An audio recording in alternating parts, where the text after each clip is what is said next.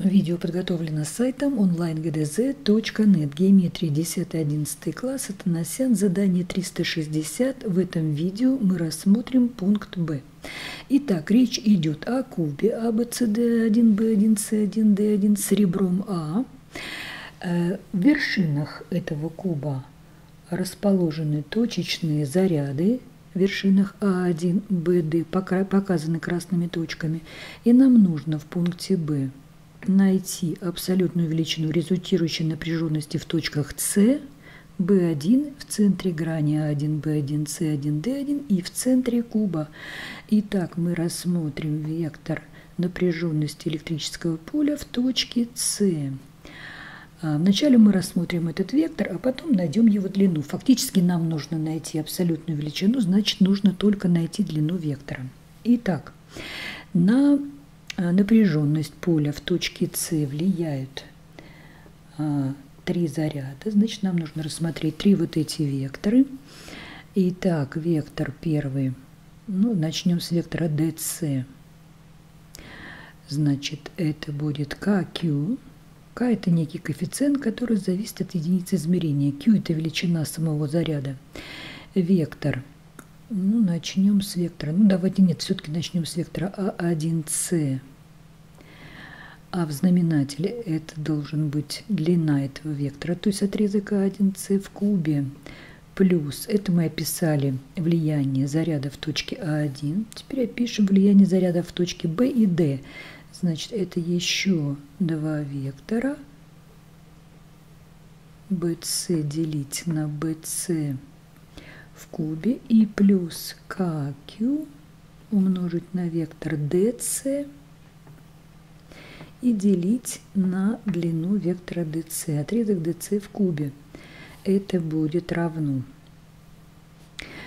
Ну, вот K, Q, А1С, мы можем тут уже заменить. А1С – это диагональ. А диагональ куба. Диагональ куба равна А корней из трех. Значит, А корней из трех в кубе. А дальше мы можем вот что сделать. Поскольку BC и DC – это ребра куба, то мы можем общий множитель вынести за скобку, как и уделить на а, ребро – это А, А в кубе и в скобочках вектор BC плюс вектор DC. Это будет равно. А вот давайте теперь мы рассмотрим сумму вот этих векторов BC и DC. Вектор DC мы можем заменить на вектор AB, на равный вектор AB. А теперь, если мы сложим векторы AB и BC, то получим вектор AC. А мы для удобства его заменим противоположным вектором CA. И то, что получилось, теперь мы запишем в наше выражение. Итак, это будет KQ делить на, возведем теперь уже в куб, будет А в кубе. Корень из трех в кубе – это 3 корня из трех. А 1С вектор и минус КQ делить на А в кубе умножить на вектор CA. И это будет равно. Давайте так запишем, что это будет равно некому вектору c. Значит, вектор c равен разности с некими коэффициентами векторов А1С и вектора CA. Давайте изобразим этот вектор CA.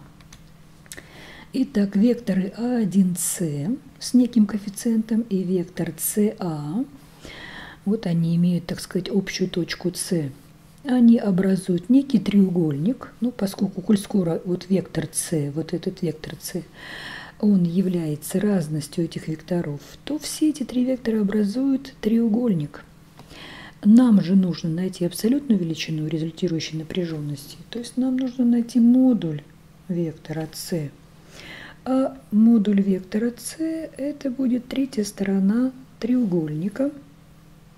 сторонами которого являются вот эти, вот эти векторы разности уменьшаемого и вычитаемого вектора. Тогда мы можем воспользоваться а, теоремой косинусов и рассчитать квадрат третьей стороны треугольника. Но прежде чем мы это сделаем, давайте мы все-таки найдем косинус угла. А нас интересует угол А1, СА.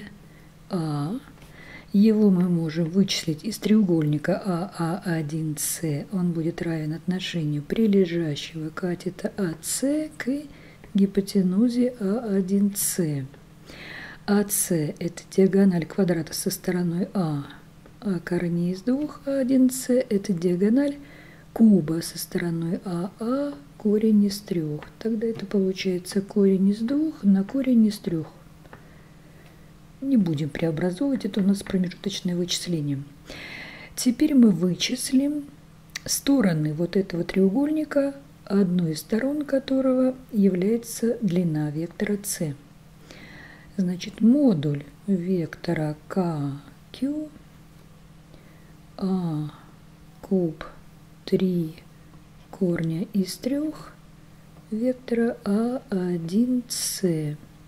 Длина этого вектора, она будет равна KQ делить на А в кубе 3 корня из трех на длину вектора А1С. Это диагональ куба А корень из трех. Тогда это будет равно А и А сокращается.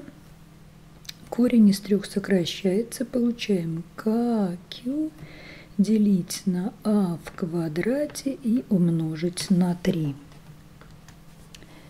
Теперь вычислим длину второго вектора, а именно вектора KQ делить на А в кубе и умножить на c на вектор CA это будет равно KQ делить на А в кубе.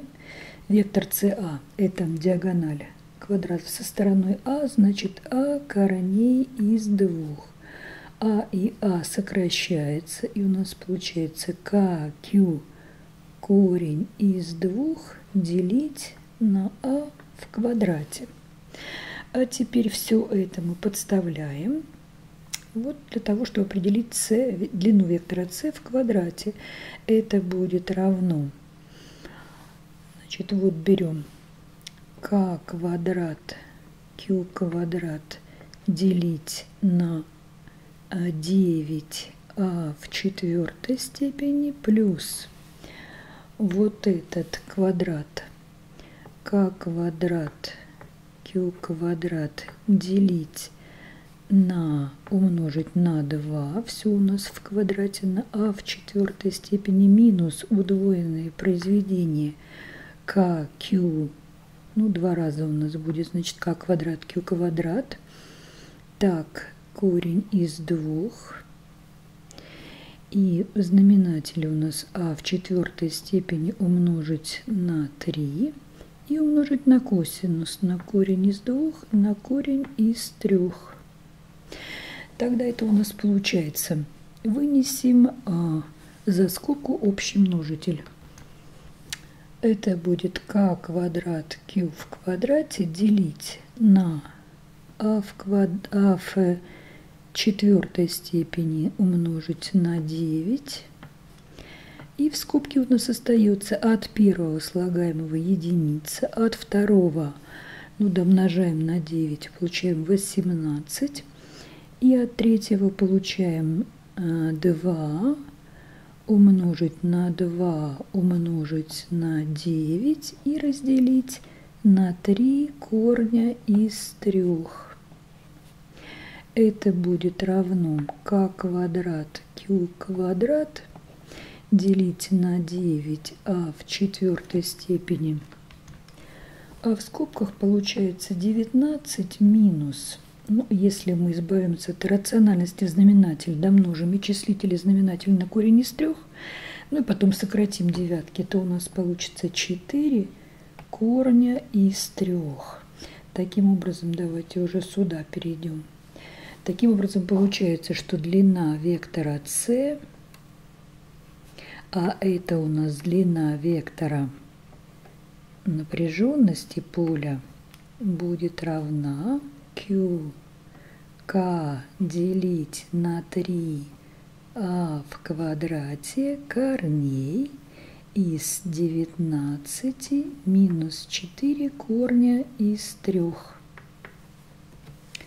Таким образом, мы определили абсолютную величину результирующей напряженности в точке С. Теперь рассмотрим точку B1. Итак, мы определяем величину напряженности поля в точке B1. Тогда нам нужно рассмотреть три вот эти вектора А1, B1, B, B1 и вектор D, B1. То есть это будет равно KQ умножить на вектор А1, B1 разделить на длину вектора А1, Б1 в кубе плюс КQ на, на длину вектора ББ1 в кубе на вектор ББ1 и КQ на DB1 и на длину D b1 в кубе. Здесь ситуация аналогична вектору e в точке c, поэтому мы вот так. Вначале мы запишем kq делить на db1, это диагональ, значит это будет а в кубе 3 корня из 3 диагональ куба db1 вектор db1. А сумму вот этих векторов a1, b1 и bb1 мы заменим разностью. Ну, во-первых, вынесем общий множитель kq. Э, и здесь у нас а в кубе. А сумму этих векторов заменим вектором минус b1a. b1a. И таким образом запишем, что вот этот вектор, это у нас вектор b, он равен разности двух вот этих векторов.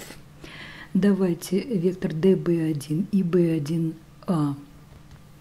Вот мы изобразили вектор b1a. Таким образом, вектор b – это вектор, который равен разности вот этих двух векторов. Обратите внимание, что они с некоторыми коэффициентами – все три вектора образуют треугольник, и значит мы найдем э, в третью сторону этого треугольника длину вектора b, длину вектора b, точно так же, как это мы делали, когда искали длину вектора c. Аналогично она будет равна, собственно, мы можем переписать результат. Она будет равна тоже kq делить на 3а квадрат и умножить на корень под корнем 19 минус 4 корня из 3. Теперь найдем абсолютную величину результирующей напряженности в центре грани А1, Б1, С1, Д1. Это у нас верхняя грань. Центр ее находится в точке пересечения диагонали этой грани. Вот она точка О. И мы будем искать вектор ЕО, вектор напряженности в этой точке, вызванный вот этими тремя зарядами. Значит, мы должны рассмотреть три вектора, вот эти три вектора, и давайте запишем. Это будет равно QK на вектор А1О на длину вектора А1О, то есть отрезок А1О в кубе, плюс KQ на вектор BO и делить на BO в кубе и плюс KQ на DO и делить на DO в кубе. Но прежде чем мы будем преобразовывать, мы вначале рассчитаем длину вектора BO. БО. Ну, учитывая, что треугольник ББ1О – это треугольник прямоугольный, и БО в нем гипотенуза, гипотенуза будет равна корню квадратному из а, суммы квадратов bb1 в квадрате плюс b1 о в квадрате, это будет равно корню квадратному из bb1 это а в квадрате плюс b1о это половина диагонали. Диагональ квадрата это а корней из двух. Половина диагонали, значит, а корней из двух на 2 и в квадрате. Тогда это будет равно а, так, ну, если, в общем, мы а, возведем в квадрат, получим а квадрат умножить на 2 делить на 4, приведем к общему знаменателю, в итоге получим а корней из 6 делить на 2. Запишем, что ДО точно так же равно, как и БО, это тоже А корней из 6 делить на 2. Ну, это тоже диагональ А равного прямоугольного треугольника, катетами которого является ребро куба и половина диагонали грани. Так, теперь рассмотрим сумму векторов БО и вектора ДО. Для этого мы проведем диагональ основания BD, найдем ее середину, точку О1, О1 середину, и соединим точки О1 и О, получим вектор О1О.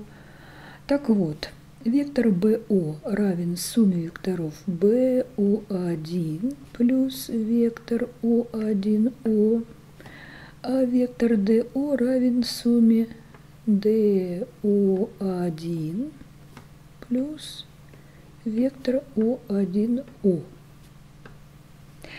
BO1 и DO1 это векторы имеют одинаковую длину, это половины диагонали BD, они направлены навстречу друг другу, то есть это векторы противоположные, значит их сумма равна нулю, а тогда у нас получается два вектора О1О.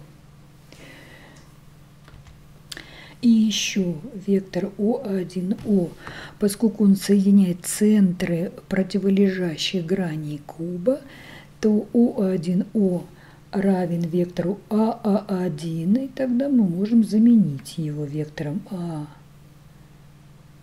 А1, АА1. И вот теперь с учетом всего этого мы продолжим записывать вектор напряженности поля в точке О. Итак, это будет равно QK на вектор А1О. Сейчас мы найдем его длину А1О в кубе. И вот теперь мы можем записать вместо суммы вот этих векторов, можем записать плюс 2, вот этот коэффициент К, на вектор на длину BO в кубе. Это мы вынесли за скобку. И вектор А,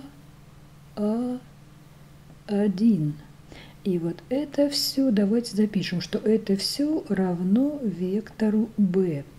Фактически нам нужно найти длину вектора b. У нас ведь спрашивается абсолютная величина результирующей напряженности. Вектор b и векторы А1О и А1А, если мы посмотрим внимательно на рисунок, составляют прямоугольный треугольник с катетами, это вот это подчеркнутые, вот это катеты – а вектор b – это гипотенуза этого треугольника. Тогда нам остается определить длины вот этих векторов, а затем вычислить, применить теорему Пифагора. Вот мы это и сделаем. Итак, мы определяем длину вектора KQ, А1О и делить на А1О в кубе. Это будет равно К Q делить на А1О. Это у нас А корней из двух. Ну, собственно, мы можем записать так. А1О в кубе умножить на А1О. Тогда это будет равно К. Q делить на а1о в квадрате, а это будет равно k q. А1о это корень из двух на 2 в квадрате, это будет а квадрат. А квадрат умножить на 2 делить на 4, то есть у нас двоечка идет сюда, и вот это мы определили длину первого вектора. Теперь найдем длину второго вектора. Это у нас, обрати внимание, что это 2 q делить на BO в кубе. BO это а корней 6 на 2, значит а квадрат умножить на а куб, мы же в кубе. А куб, значит 6 корней из 6 делить на 8 так, и умножить на вектор АА1. Ну, это мы уже поторопились немножко. Ладно. Это будет равно, значит, К, Q, 2, 8 делить на А в кубе 6 а корень из 6 и АА1 это просто А. И в итоге мы получаем так, К, Q, 4 корня из 6 и делить на А в квадрате. Но если мы избавимся от рациональности. И еще один множитель в знаменателе – это девятка. Итак, мы определили катеты прямоугольного треугольника. Теперь по теореме Пифагора вычислим его гипотенузу.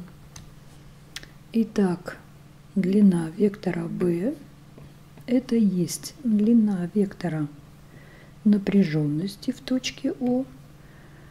Она будет равна корню квадратному из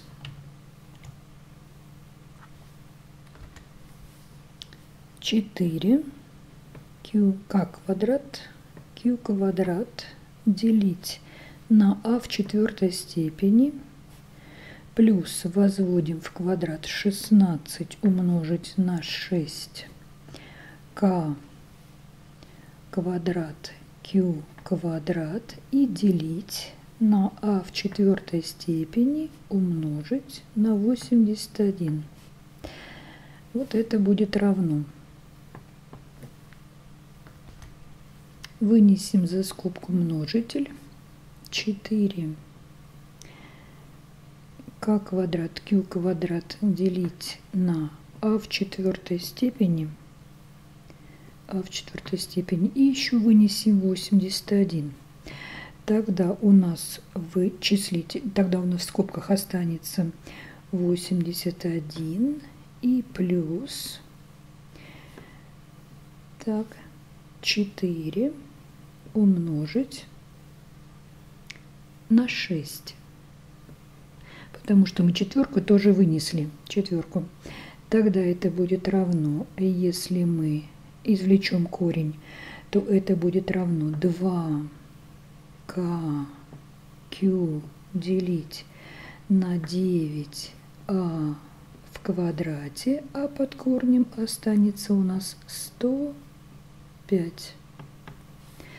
Итак, это абсолютная величина напряженности в точке о центре грани А1, Б1, С1, Д1.